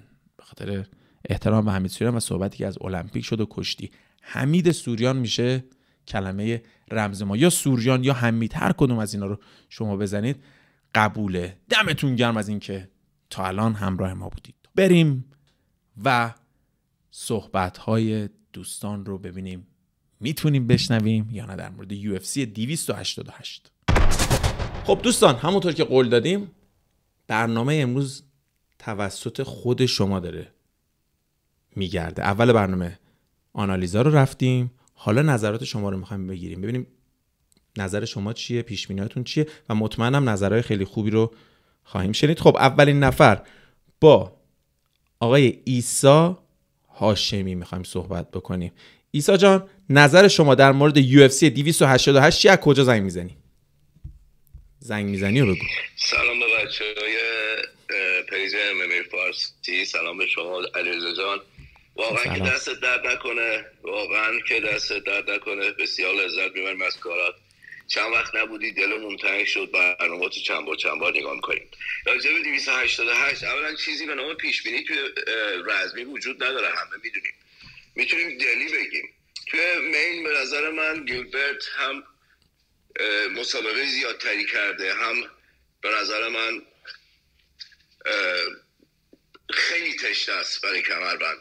می‌تونه از بلال بهتر بشه. اونم من من دوست دارم که بلال برنده بشه. توی این خانوما چینیه به نظر من. شاید بتونه ستاره بشه. بعد توی آلجامین و هری هم به نظر من که خیلی وقته. یعنی بعد خیلی وقت برگشته هری سوهرو. شهودو من, زیاد توی اسم زیاد خوب نیستم. یه ذره نمی‌تونه به اون سرعت قدیم باشه. به نظر من که آلجامی شانسش بیشتره. خب تشکر می‌کنم. بازم تشکر می‌کنم. از کار خوب قشنگت. ممنون. دست شما درد نکنه. مرسی. مرسی ایسا جان. خیلی صحبت جالبی کردی. ستارم قشنگ پیش بینی کردی. نظرت هم گفتی. از کجا گفتی تماس می‌گیری؟ بریزبن استرالیا. آه چقدر عالی. شهر بریزبن استرالیا ایالت کویزلند. کویزلند آره من حالا قبلش هم صحبت کوتاهی با شما فکر کنم کرده بودم برای بچه حالا می‌خواستم آره، بدونی شما کجایی. ما یه لحظه برنامه دوستان قطع شد دوباره بس کردیم. اون گفته بودی که ماهیگیری اونجا یه همچین چیزی درست میگم؟ یعنی سیلرمنی؟ آره. نه نه تفریح هم حالیمه به اصطلاح یه قایق پنج و نیم دارم. البته از کوچیک شروع کردم چهار متر چهار متر و پنجاه شروع کردم که الان یه پنج و پنجاه گنده دارم. خوبه با یه موتور 115 چهار است و بخار دیگه شما میگی تانگالوما ما دیگه تانگالوما هم می‌تونیم با این قایقمون رد آره من تانگالوما قدیم رفته بودم. تانگالوما و آره. ما جلات ماهی های دیگه دیدیم ما یه سری ماهی های زیبای دیگه دیدیم. پری دریایی بودن بیشتر. بله. انشالله تشریف بیاریم اونجا میریم توی چیز. اصلا برای دایوین می‌برم برای قواسی می‌برم کل دنیای زیبا. خیلی زیباست تانگالوما. تانگالوما 5 تا 6 تا کشتی ژاپنی. وقتی که حمله کرده اینا موقعی که اینا رو منهدم کردن اونجا غرق شده. بر همون شده چیز خونه ماهیا. جای قواسی چقدر جالب. خیلی خوبه هم برای و چقدر جالبه که هم یو اف سی رو کامل دنبال می‌کنی هم زیر اقیانوس یعنی هم کف و هم زیرو.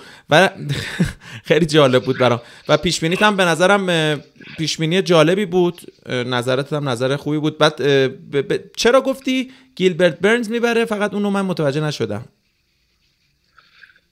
دوستش دارم. چقدر رومانتیک شد. من عاشقشی؟ به نظر من خب نه خب یکی دوستش داری. خب بلال محمد خیلی تشته است. خیلی خیلی تشته است. به نظر من که حقش هم هست ازه آخه گفتی دوست دارم بلال محمد ببره. دوست دارم بلال محمد ببره ولی من نگفتم بلال محمد نگفتم بلال محمد ببره. گفتم بلال محمد به نظر من چیزتره. شایسته تره به نظر من که بیشتر شبیه تره بردنش. ولی من دوست دارم که گیلبرت ببره. خب چقدر عالی. توی به نظرت مبارزه مین ایونت که هنری سودو مبارزه داره با آلجامی آلجامی می‌تونه بره پشت هنری سودو نگرش داره یا نه؟ خب اگه فقط بخواد دنبال اون چیز باشه که خب چیز خیلی بچه نیستش که کم تجربه هم نیستش. کلی روش تمرین کرده. صد درصد بدنش رو داره صد درصد روش کار کرده. خب اینا دیگه در شما خودت دیگه توی دنیای ورزش هستی دیگه. اینا بالاترین سطح ورزشن دیگه. اینا هر رکبی و بدنشو دارن. هر, هر توی هر چیزش دارن. شما فقط می‌دونی شما فقط به لحظه ها به ثانیه هاست که اینا اشتباه می‌کنن که یکی شکست می‌خوره یکی پیروز میشه. چیزی به نام پیش بینی وجود نداره.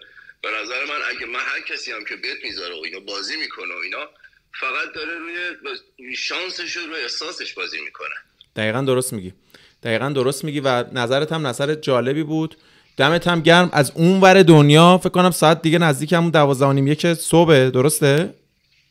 آره یک صبح یک من اومدم تو انباری چون بچم خوابه اومدم تو انباری دارم صحبت کنم. صدام شاید میپیچه. وای دم... دمتون گرم. ای... ایسا هاشمی چند سالته؟ نمی‌خوره بهت واقعا. حالا میگم ما قیافه رو دیدیم ولی صدا نمی‌خوره. نه سرم سرما خوردم اینطوری شد. اصلا سرم صد درصد یه جوری رسید. برنامه ادامه پیدا کنه ما میایم تون تون اصلا به خاطر این برنامه من برنامه این به خاطر برنامه شما این کلاپاس و اینا رو دانلود کردم یاد گرفتم. هنوزم یاد نگرفتم. نمی‌دونم زیر تصویرم عکس نمی‌دونم گل بوته میاد نمی‌دونم چطور می‌تونم ببرمش. نه نه نه خیلی عالی. خیلی هم خوشحال شدم. هم صدات خوب بود.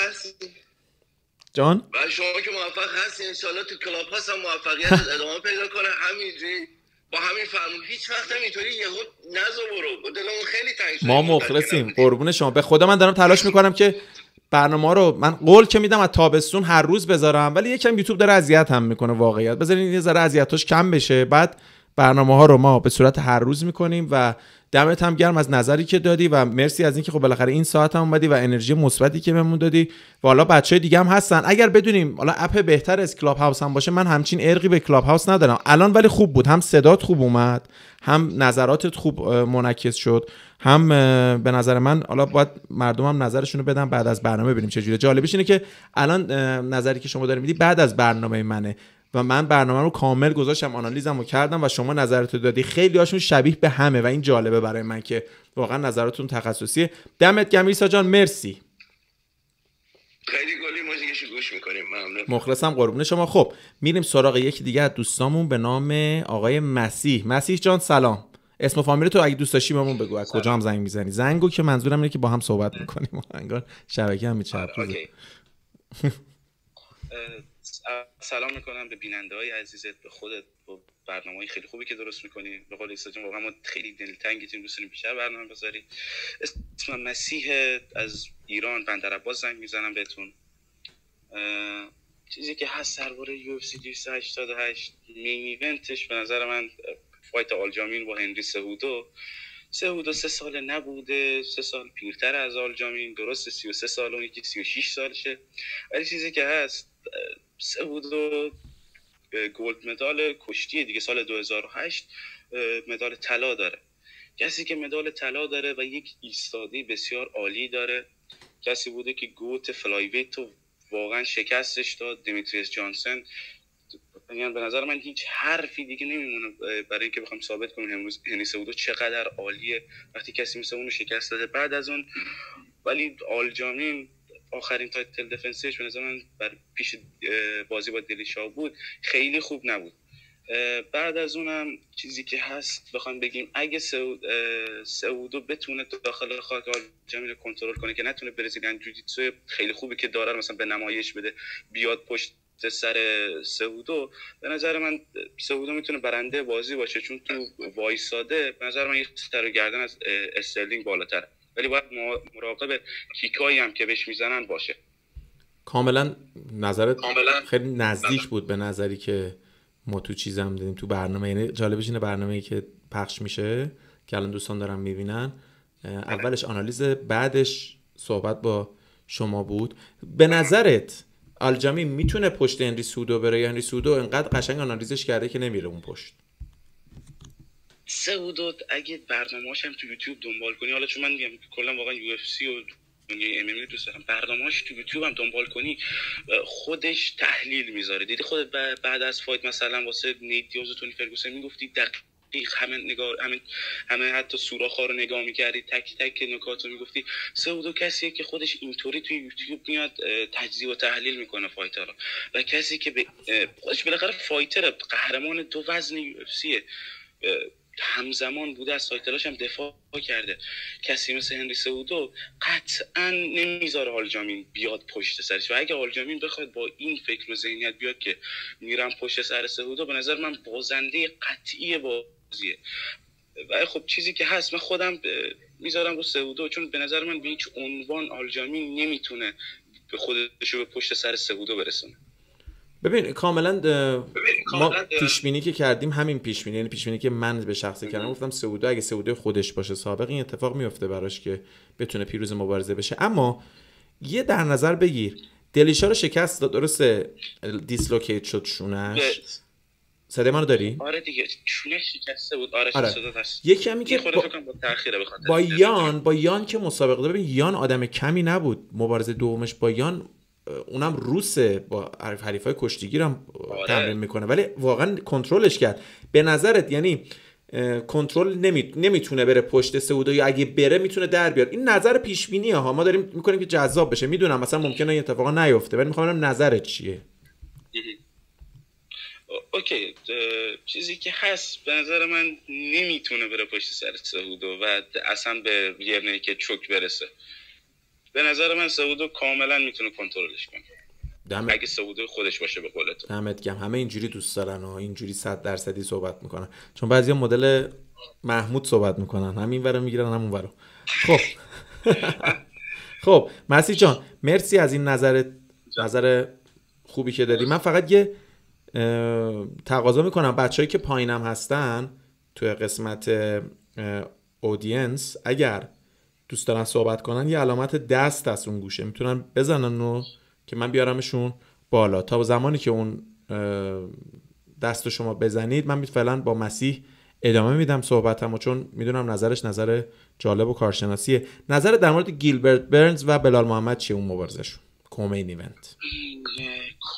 co-main event که یه خورده بگم ناراحت ما ناراحتیم از اینکه co-main event این fight ما دوست داشتیم co-main event اول از همه fight چارلز اولیویرا بنیل داریوش باشه بالاخره دوست داشتیم بنیل ببره title shot گیرش بیاد. اشکال نداره یو بعدی منتظرش میمونیم. co-main event بلال محمد خب همونجایی که می‌دونیم کشتیگیر خیلی خوبیه با تیم حبیب و اسلام هم تمرین می‌کنه. تمریناتی داشته کمپا رو میره.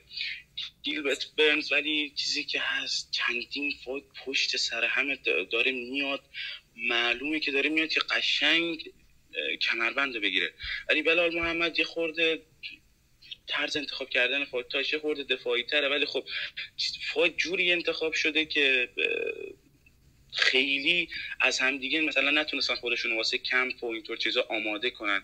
آنالیز به نظر من آنچنان قوی از همدیگه ندارن. خیلی هم نتونستن به نظر من قبل از fight برای همدیگه آماده بشن. این fight به نظر من گیلبرت برنز به نظر من شاید بهتر بتونه manage بکنه چون چند تا یو قبلی رو خودش fight داده خودش برنده بوده علیه لحاظ روحی خیلی بهتری داره. خورخه مازویدال رو توی hometown ش شکست داد.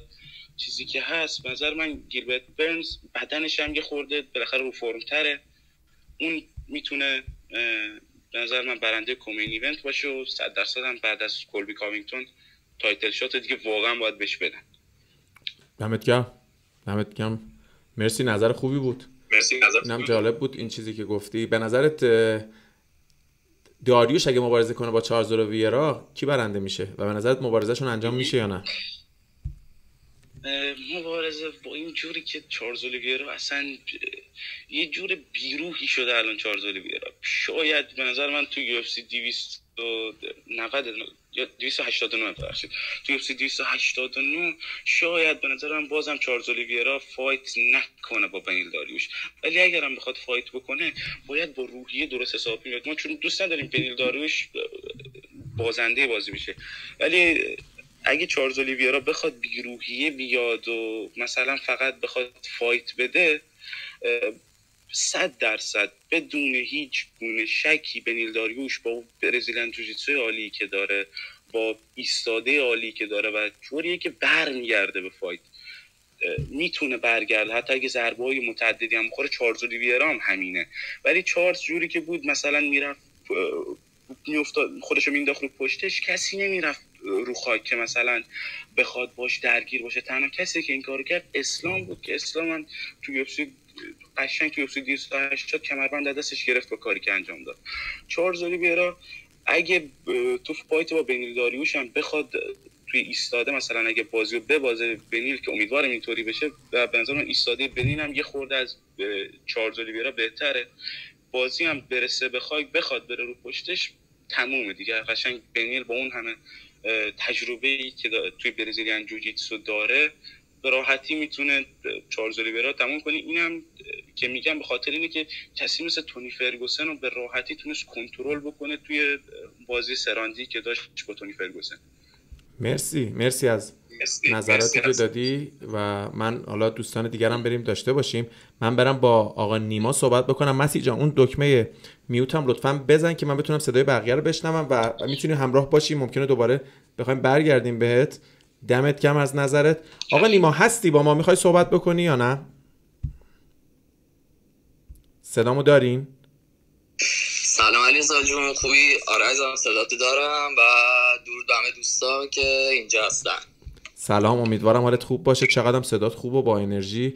می‌خواستم بدونم نظرت چیه؟ در مورد کلا برنامه و این UFC 288 پیش بینیات چیه؟ به هر حال هر نظری که داری. مرسی از قرمت برم. تو انرژی که نگو که هیچ کس فکر نمی‌کنم پای خودت برسه.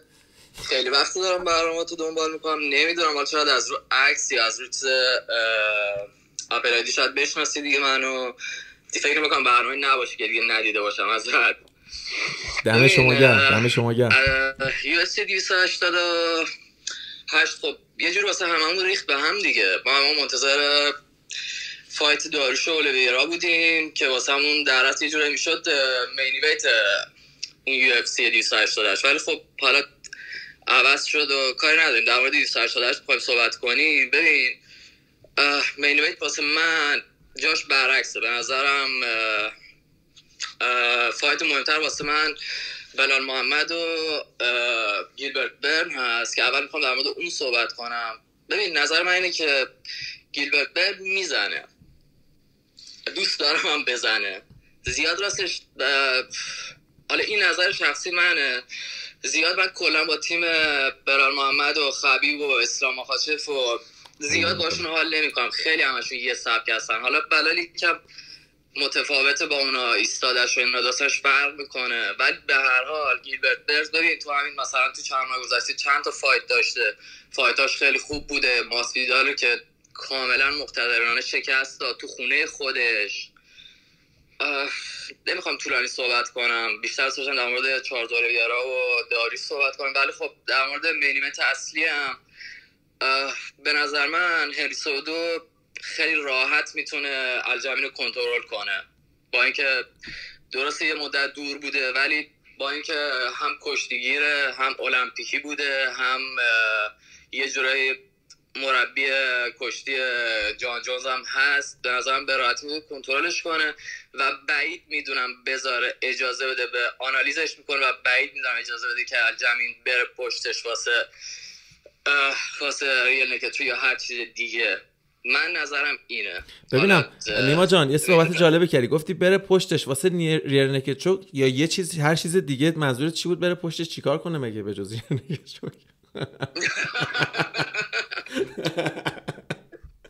نه ببین اصلا منظورم اون قضیه نبود. آره خواستم بگم توی شهر دیگه داره برگزار میشه مورد. بعید می‌دونم بتونه چاکش کنه چون به نظر من خوب آنالیزش کنه. حتی دو طرف آنالیز واسه دو طرفه مطمئن باش تیم الجمعین اونم خوب خوب. سعودی رو کنده سعودی رو آنالیز کردن مطمئن باش. ولی من نظرم اینه که سعودی تمومش می‌کنه. مرسی نیما جان. نیمای اکبری. نیما از کجا تماس می‌گیری؟ از ترونی نه من از سوئیس هستم. او کجای سوئیسی؟ زوریخی ژنوی؟ کدوم طرفیشی نه نه نه. من فرانسه زبون کانتون وله هستم. با ژنو تقریبا یک ساعت یک ساعت و 20 دقیقه فاصله داری با ماشین. آه دیگه بونجور سوایی. آره دقیقا.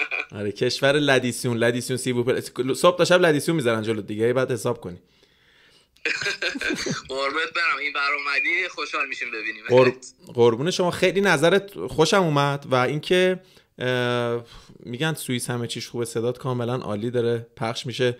خیلی هم راحت با ارتباط برقرار کردیم. و اینکه به نظرت حالا چون که از گیلبرت برنز شروع کردی و بلال محمد بعد سودو هم گفتی می‌خواستی در مورد آره ولی گفتی داریوش و چارلز رو می‌خواستم صحبت بکنم. نظر در مورد اون چیه؟ اونو صحبت نکردی. آخ آخ آخ نگو نگو. از همین الان من استرسشو دارم. یعنی یه جوری بگم از یک ماه پیش داشتم که خب کنسل شد خیلی ناراحت شدم ولی خب استرس یک ماه دیگه دوباره باید باش بسازم. چون خیلی علاقه دارم که واقعا داریوش تایت رو بگیره. امیدوارم که بگیره. ولی ببین چارزار رو به هیچ عنوان نباید دست کم گرفت. خیلی میگن که آره مثلا نیست و حالا چند مصدومیت جزئی و فلان و هر میشه سریع مصدوم میشه. نه به نظر من این چیزا نیست. چارزور بیارا فایتر خیلی بزرگیه. خب خودت هم تو برنامه قبلی دیدیم دیگه نامبر وان بود تو تموم کردن. آخرین برنامه که گذاشتی. تو لیست فایت هم که کرده چند تا فایت آخرش هم که نگاه می‌کنی. حالا به جز اسلام که اون حالا کار نداریم دیده گرفت ازش کمربند و نگاه می‌کنی می‌بینی جاستین گیجی رو راند اول پوریه رو ایسانکان راند سوم تموم کرد. راند دوم دوباره مایکل چندر رو تموم کرد. تو علی همه رو.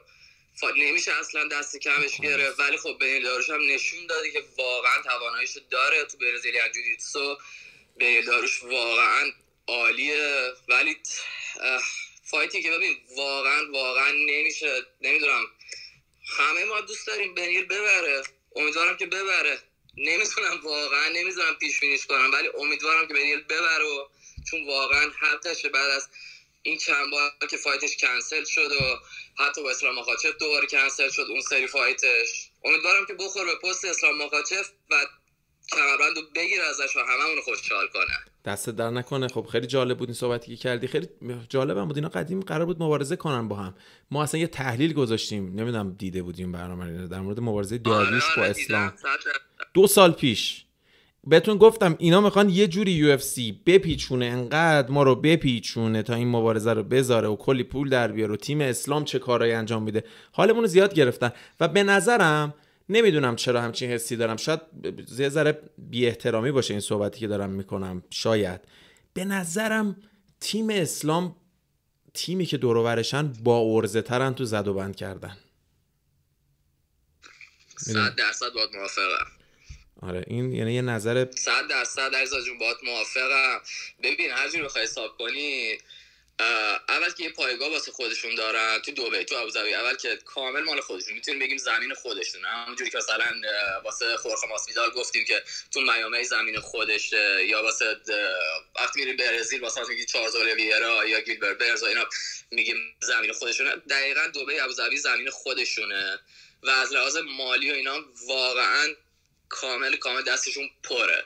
چه از نظر بیزینس چه از نظر هر جوری که بخوای حساب کنی از نظر تیم از نظر هر جوری که بخوای حساب کنی قطعا خیلی خیلی بالاتر از اکیپ داریوش و تیم داریوش و حتی از اکیپ اون بر تیمای برزیلی چارلز اولیویرا اینا از همه اینا بالاتر هستن تو این قضیه.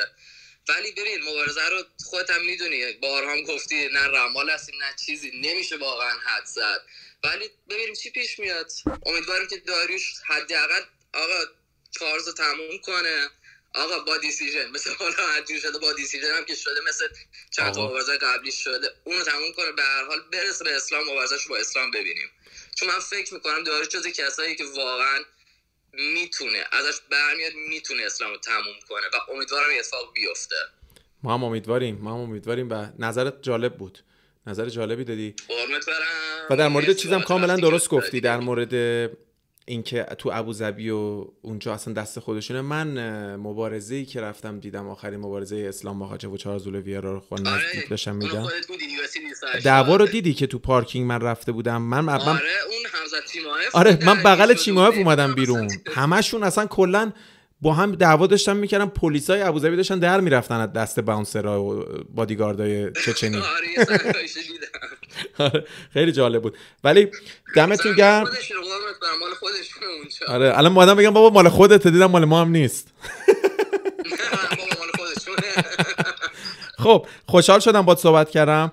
بچه یه ذره فانش هم می‌کنیم که مثل همیشه حال بده. آقای ایسا هم برات یه دونه گودلاک نشون داد.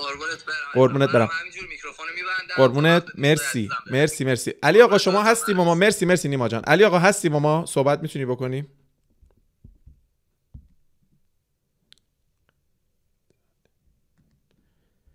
علی آقای قنیزاده اگر دکمه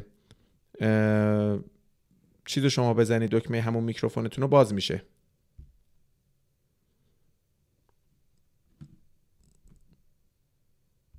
آره اگه دکمه میکروفون رو بزنید الان فکر می‌کنم دکمهشون فعال شده که می‌تونن صحبت بکنن. علی آقا صدای ما رو دارید شما؟ چون اومدید بالا روی استیج البته بهتون بگم بعضی وقتا خب اینا باگم داره. یعنی یه سری صدا نمی‌تونه بره بیاد سری صدای ما رو نمیشنون یا بعضی وقتا ممکنه ما صداشون رو نشنویم.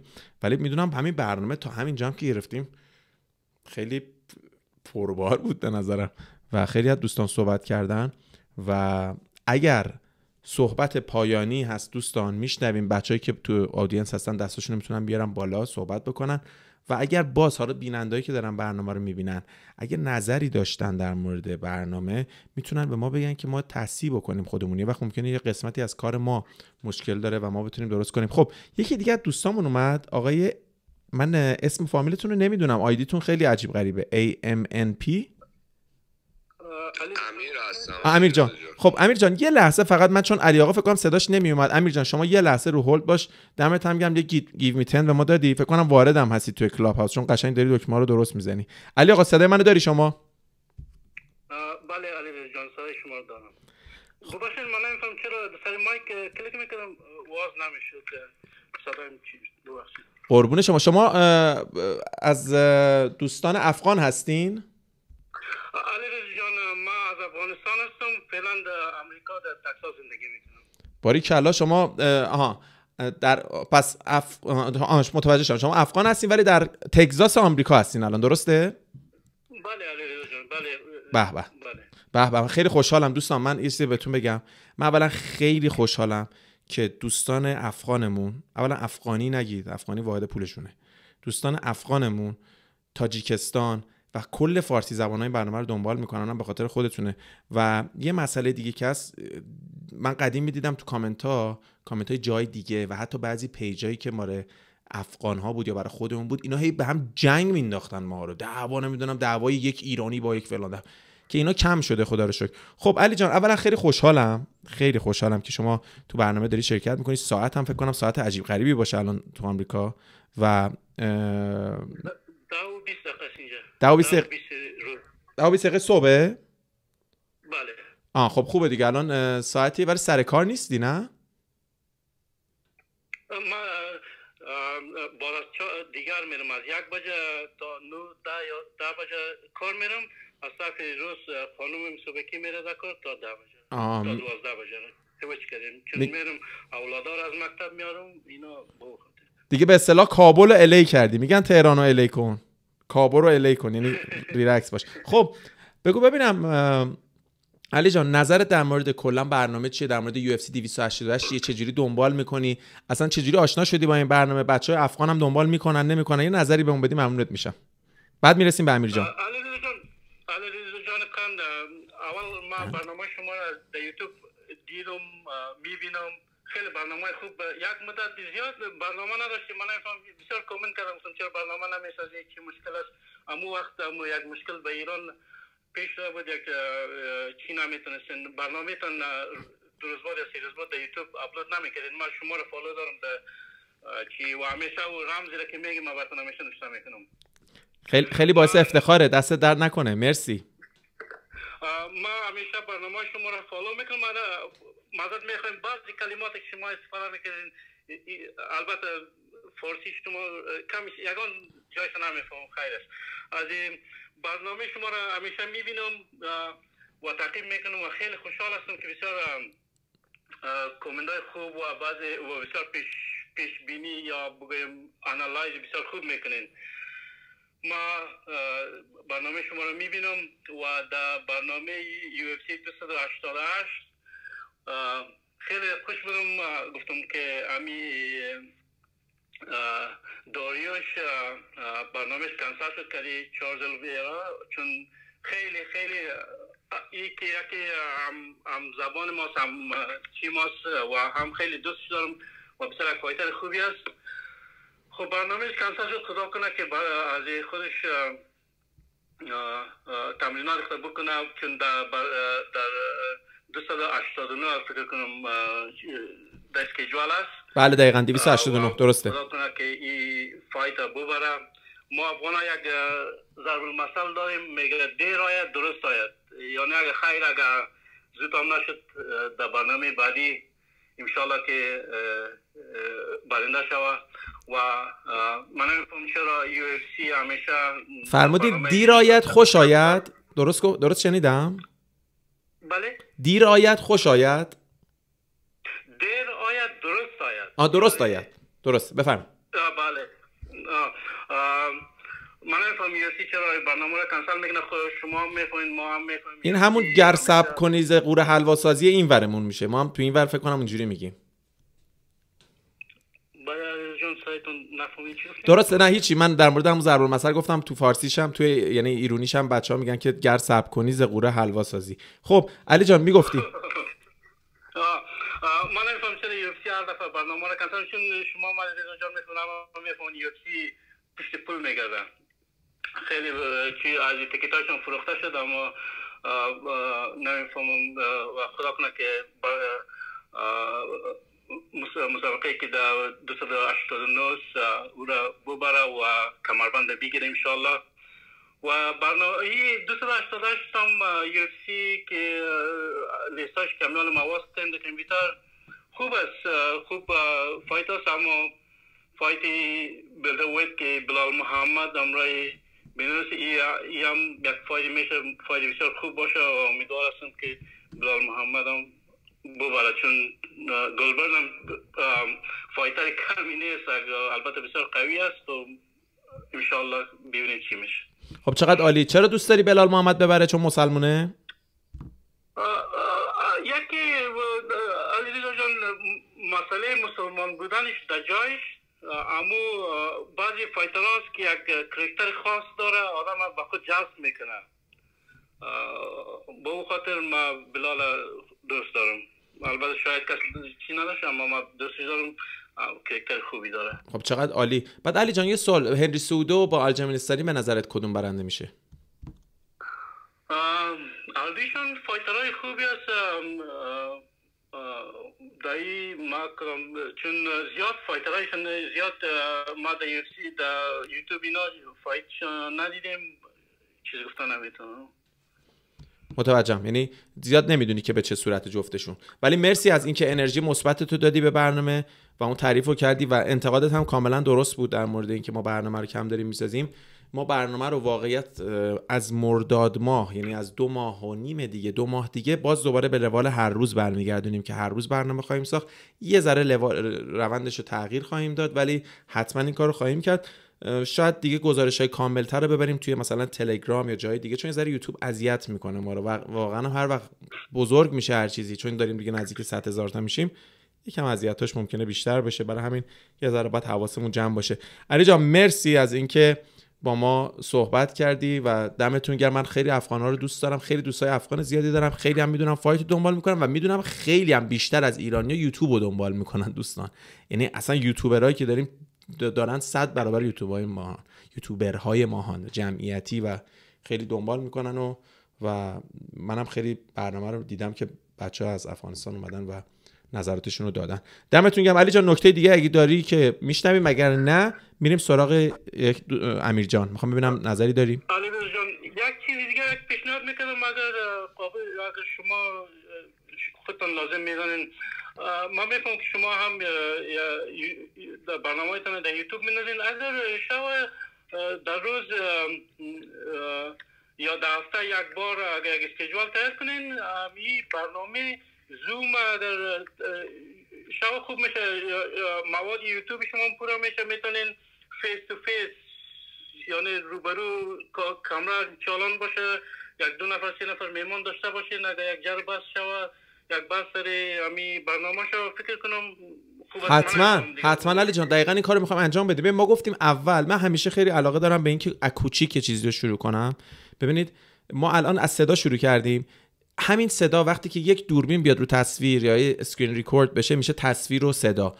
بعد از صدا مرحله بعدی که ما دوستان رو درگیر می‌کنیم بعد از صدا حتما تصویره و حتما بدونید که هم مهمونای بزرگی خواهیم آورد هم شماها به عنوان مهمون بزرگ ما هستید. ببین اولین باره فکر کنم توی شبکه‌ای که از خود طرفدارا از خود دوستانی که می‌بینن برنامه رو به عنوان کارشناس استفاده میشه.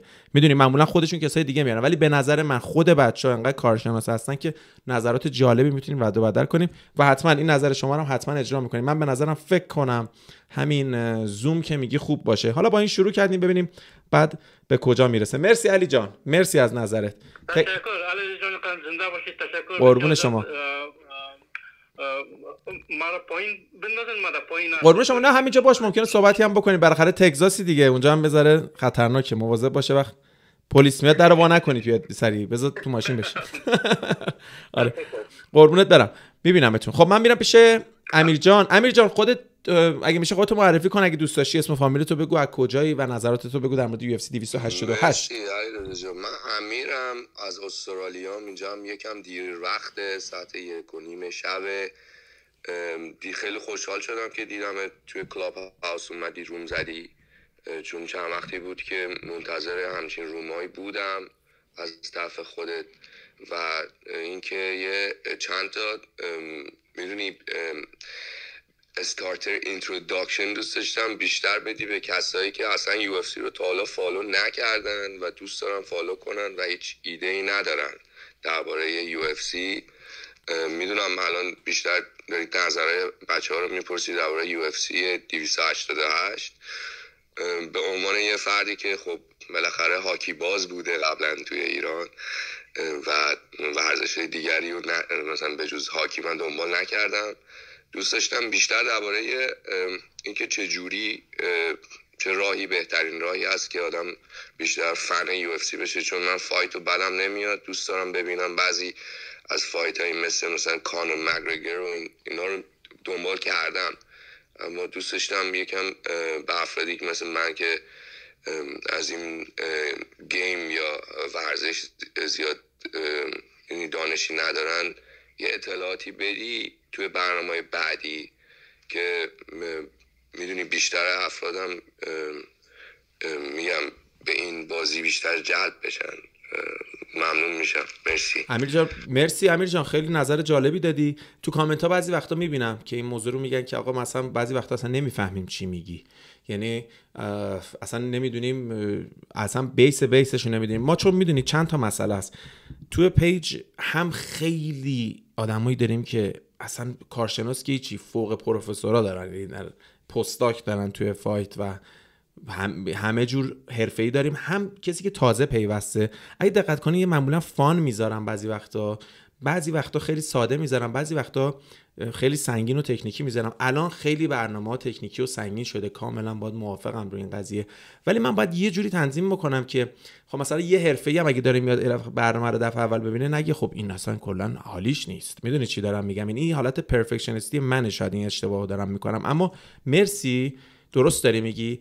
من باید اصلا از قوانین کوچیک شروع بکنم از نوع اسم تکنیکا شروع بکنم. و حتما این layman language باشه علی رضا جان خیلی خوب میشه. یعنی مثل مثلا نوشتن یه scientific paper ی که اولش حالت introduction layman ه که یه افرادی که science نمی‌دونن اون رو متوجه بشن و حالا کسایی که می‌تونن می‌تونن برن table رو بخونن و بیشتر درباره اون بدونن. میگم اون لیم لیم صحبت کردنه خیلی فکر کنم مهم باشه برای همچین مسئله ای نه کاملا درست میگی. مرسی امیر جان از نظرت. ایران هاکی با کاوه صدقینا بودین باشگاه انقلاب؟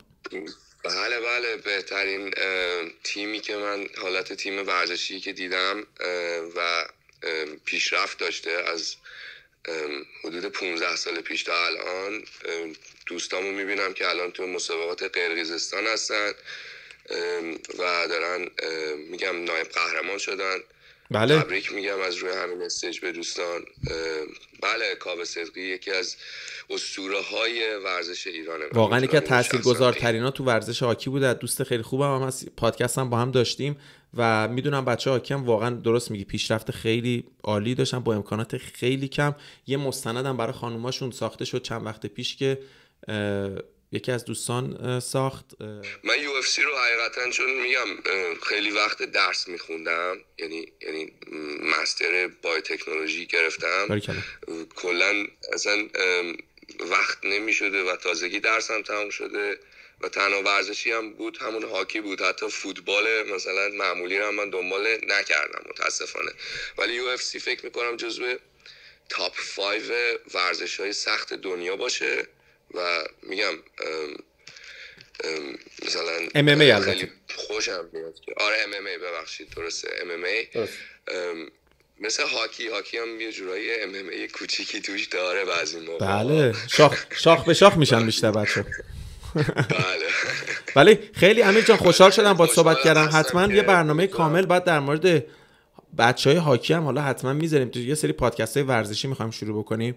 ولی امروز خیلی نظر خوبی دادی در مورد UFC و MMA به نظرم حتما تو برنامه بعدی می‌تونیم استفاده کنیم. این برنامه چون کامل در مورد UFC و این UFC 288 هست می‌دونم الان ممکنه یه سری از دوستان بنویسن که خب چرا بحث رو بردین به سمت دیگه. منم اصولا پایه این هستم که یه یکی بهم پا بده برم به سمت دیگه. همین یه ذره این موضوع رو کنترل می‌کنم الان که روی UFC بمونیم و نظر تو انتقاد تو کاملا به دیده منت می‌گیرم حتما انجام میدم. درست میگی کاملا.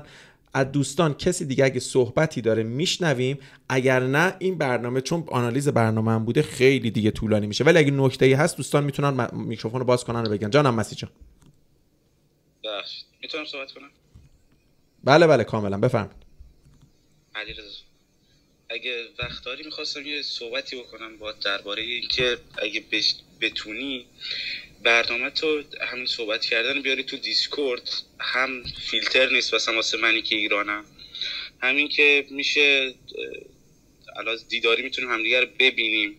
هم می‌تونیم از زوم بهتره؟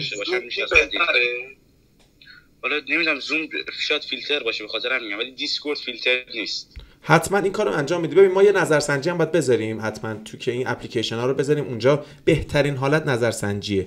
توی یوتیوب بذاریم که ببینید کدومو می‌تونم بیشتر استفاده کنم. با توجه به این موضوعی که شما میگی احتمالاً همون دیسکورد میشه. درباره جان. یه چیز دیگه هم درباره fight co-main event. fight هم پنج راندیه cardio هم خیلی آفرین. fight مهم آفرین. چقدر نکته مهمی رو ببین مسی من بهتون میگم دوستان چقدر مهمه این برنامه. من خودم یادم رفت این نکته رو بگم تو آنالیزم. چه نکته مهمی رو گفتید؟ دوستان جز کومین و معدود کومین ایونت هایی که پنج رانده. خب برو بریم. بگو مسی جان ببخشید. کاردیو به نظر من خیلی مهمه و بلال محمد. منم با نظر نیما موافقم. واقعا از تیم حبیب اصلا خوشم نمیاد. به عنوانی که خیلی تو فایتا دست میارن خیلی واقعا دارن تاثیر می‌ذارن. ولی چیزی که هست اینه که تمریناتشون تمرینای خیلی سنگینیه. گیلبرت برنز هم تمرینای سنگینی انجام میده. بعدن چون شاید آماده تر باشه. چون بلال محمد گفته من تو دو من توی حدود ده روز من این فایتو پذیرفتم و قرار بیام این کار انجام بدم. ولی مشکلی نیست. بالاخره حبیبم خب یه جوری کوچشه باش صحبت می‌کردن. خیلی با اعتماد به نفس بالایی صحبت می‌کردن. از اینکه پنج راندی هم هست. فکر کنم بلال محمد از لحاظ کاردیو شاید خودشو خیلی به نظر من بالاتر می‌بینه از گیلبرت برنز. این هم یه چیزی بود که دوست داشتم این نکته هم در نظر گرفتی که گیلبرت برنز چند روز پیش مبارزه کرده؟ آره اینم گفتم. یه خورده بعد از اونجا هم میشه گفت که خستگی هم شاید داشته باشه. بالاخره خورخه مازویدال به فایت قبلیش. کم آدمایی نبودن.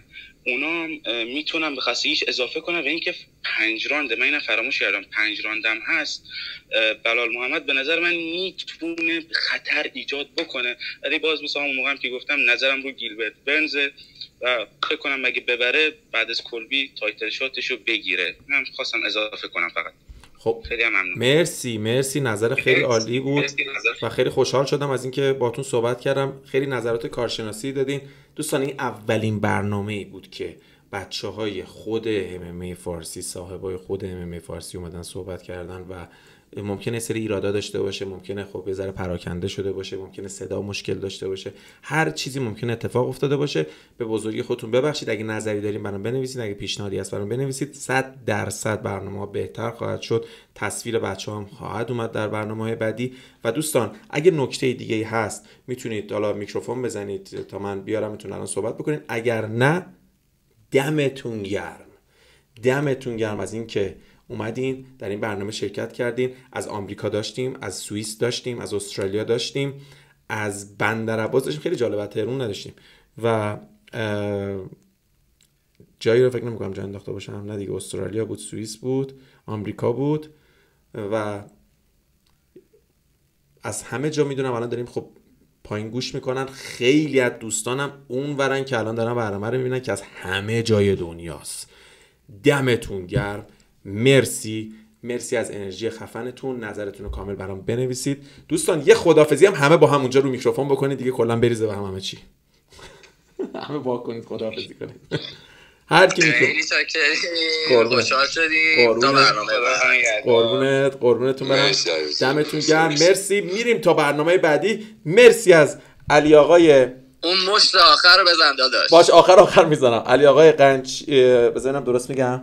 علی آقای قنیزاده آقای نیمای اکبری از سوئیس مسیح هاشمی.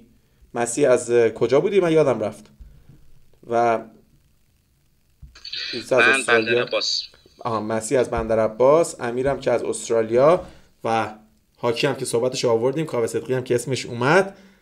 مثل برنامه دور همی فکر کنم باید بگیم که دیگه اگه اسمت اومده بگه بعد بیای تو برنامه. دمتون گرم از انرژی خفنتون. منو ول کنید تا صبح صحبت می‌کنم. بریم. بریم آنالیز رو ببینیم بچه برنامه همین روزا میره بالا. شما هم که صحبت کردید میشنوید صداتون خدا نگهدار. دمتون گرم.